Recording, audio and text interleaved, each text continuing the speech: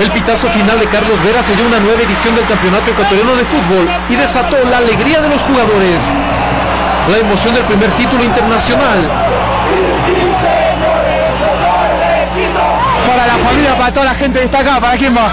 ¿Para quién más? ¿Cuánta gente de Quito vino? Mucha gente, hoy demostramos que somos toda una familia, loco. El Quito hizo honor a la frase de don César Pardo. La hinchada tiene dos corazones, el uno para sufrir y el otro para vivir. Me sufrió mucho, ¿no? Sí, seguro, arriba estaba, me terminé las uñas, pero, pero la satisfacción es grande. La verdad, muy contento y muy agradecido de estar en esta institución. La promesa del dirigente.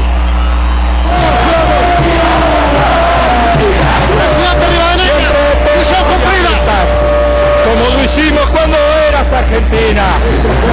Vayas a donde vayas, es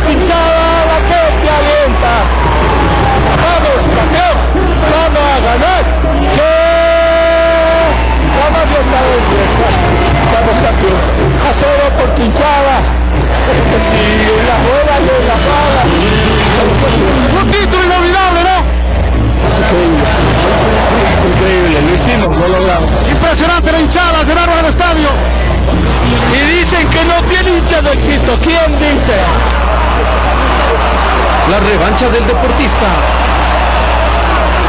Muy emocionante, dale la alegría no solamente a toda esta hinchada, sino a mi familia, a toda la gente que me apoyó desde abajo. Estoy muy contento porque es el primer título que gano. El jugador distinto. Campeón, campeón era todo lo que todos queríamos y se logró. Ahora celebrarlo con toda esta hinchada hermosa que nos ha venido a apoyar. La reacción del primer gol del 2009. Era una final importante gracias a Dios me salió un gol y ese fue el que abrió todo este, este, este camino de, de, del triunfo para nosotros. La voz de un histórico. Sí, muy, muchas gracias. Salió todo bien como habíamos planeado. Sí, sí, un campeonato más. Y las palabras de un tercer título en el país. Primera vez, una oportunidad.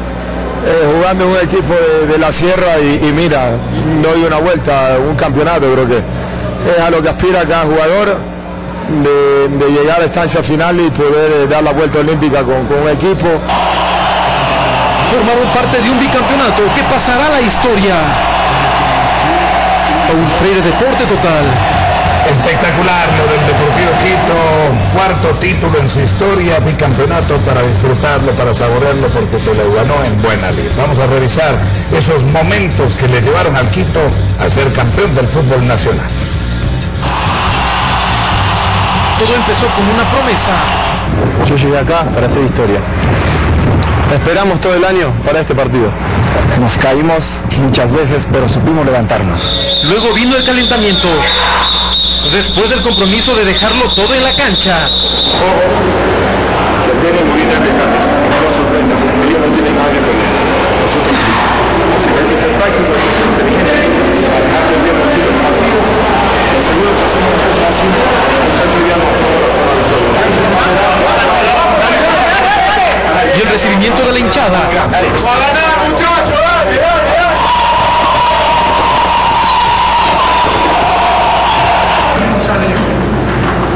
0 a 0 y el descanso.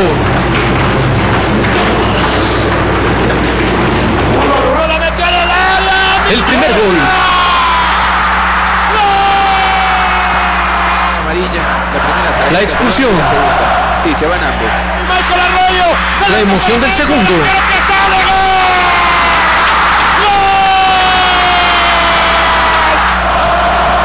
El porqué de la falla.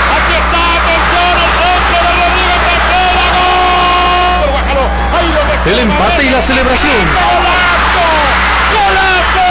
Y aquí Michael Arroyo. Y el gol que vale un título.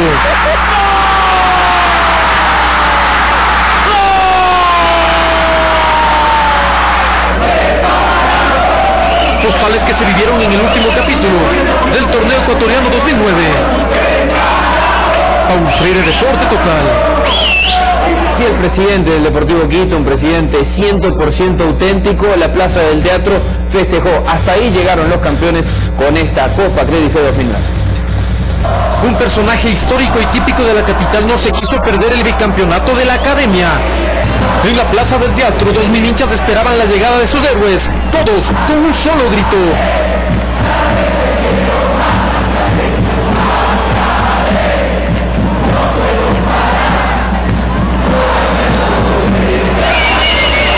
Un 5 de diciembre que se lo festejó con luces, música y coloridos castillos. Dos horas después de finalizar el encuentro, los jugadores llegaron a la plaza del teatro. La copa arribó custodiada por el histórico Giovanni Barra y por Luis Tenorio. Uno a uno, los jugadores saltaron al escenario. Y ya completó el equipo, la música de Victoria los acompañó. El delirio de todos se hizo presente cuando el flamante trofeo fue mostrado.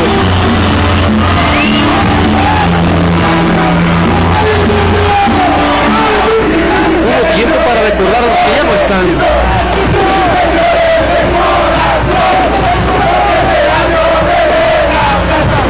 Además hubo momentos para acordarse de su eterno rival. La primera edición de la Copa Credife tiene el nombre grabado del Quito, equipo que ya forma parte del club de los bicampeones. Un Deporte Total. Al final estuvo en la cancha de Teleamazonas, al igual que en años anteriores, poniéndole punto final a una temporada con más fútbol, pero una temporada que el año que viene tendrá más emoción y más pasión, como siempre, aquí en la cancha de Teleamazonas. Estamos llegando a la parte final del programa. Alfonso Roberto. Bien, eh, Rubén Darío. Hay una revancha en la Copa Libertadores. El Quito este año debió haber hecho una mejor Copa Libertadores y les agarró, como usted mismo decía, incluso un partido sin haber entrenado una semana. Ese es uno de los, los temas por, por jugar. más de un partido, ¿no? Como en Copa Libertadores. Enfrentamos a Cruzeiro y Estudiantes, que fueron los dos finalistas, sin entrenamiento.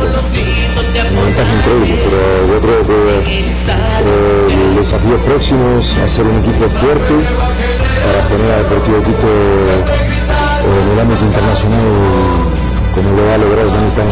Felicitaciones Rubén Darío y salud campeones. Un título está en muy buenas manos. Amigos, Alfonso, Andrés, buenas noches. Buenas noches.